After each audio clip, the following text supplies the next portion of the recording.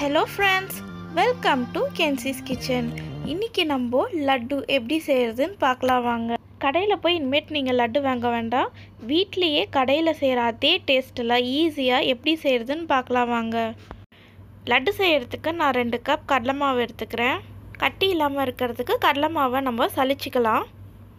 சளிச்ச கடலை மாவில் ஒரு சிட்டிகை உப்பு ஒரு சிட்டிகை பேக்கிங் சோடா போட்டு நல்லா கலந்துக்கோங்க.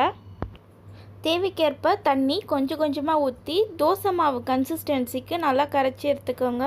பாருங்கள் நல்லா கரைச்சாச்சு. இந்த மாதிரி கன்சிஸ்டன்சிக்கு கரைச்சி எடுத்துக்கோங்க. இப்போ பூந்தி மாதிரி பொரிக்கிறதுக்கு ஒரு கடாயில் எண்ணெய் ஊற்றிக்கோங்க எண்ணெய் நல்லா காஞ்சதும் ஜல்லிக்கரண்டியில் மாவு கொஞ்சம் கொஞ்சமாக ஊற்றி தோசை சுடுற மாதிரி நல்லா சுற்றி டேப் பண்ணுங்கள் கடலை மாவை கரெக்டான கன்சிஸ்டன்சியில் கரைச்சிருந்திங்கன்னா இந்த மாதிரி முத்து மாதிரி பூந்தி வரும். கடலை மாவு ரொம்பவும் தண்ணியாக இருக்கக்கூடாது ரொம்பவும் கட்டியாக இருக்கக்கூடாது.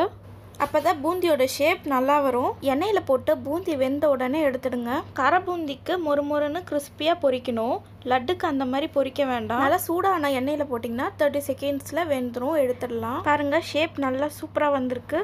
இதே மாதிரி மீதி இருக்கிற மாவுலேயும் நம்ம பூந்தி போட்டு எடுத்துக்கலாம்.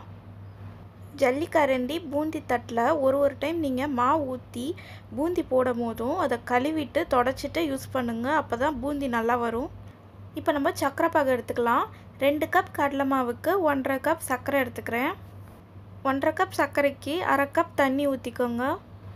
மீடியம் ஃப்ளேமில் வச்சு சர்க்கரை கரைஞ்சதும் கம்பி பதத்துக்கு நம்ம இதை கொண்டு வரணும். கால் டீஸ்பூன் ஏலக்காய் பவுடர் இல்லை மூணு ஏலக்காய் இடித்து போட்டுக்கோங்க. ஒரு கம்பி பதம் வந்துடுச்சு. இப்போ நம்ம கேஸ் ஆஃப் பண்ணிடலாம். நம்ம பொரித்து வச்சுருக்க பூந்தியை எண்ணெய் வடிஞ்சதும் ரெண்டு மூணு கரண்டி போட்டு அரைச்சிக்கோங்க. ரொம்ப மையா இல்லாமல் இந்த மாதிரி குறை குறைன்னு அரைச்சிக்கோங்க. அரைச்சிட்டு சர்க்கரை பாகில் அதை போட்டுக்கலாம். இப்போ நம்ம பொரித்து வச்சுருக்க மீதி பூந்தியும் போட்டு இதை நல்லா கலக்கி விட்டுருங்க.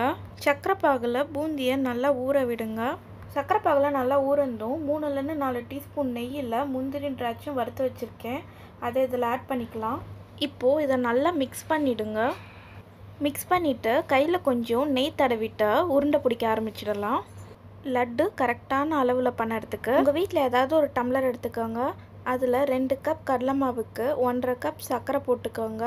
ஒன்றரை கப் சர்க்கரைக்கு அரை கப் தண்ணி ஊற்றி சர்க்கரை பாகு எடுத்துக்கோங்க. கடையில் வாங்குகிற அதே லட்டு டேஸ்ட் இருக்கும். கண்டிப்பாக செஞ்சு பார்த்து கீழே கமெண்ட் பண்ணுங்கள்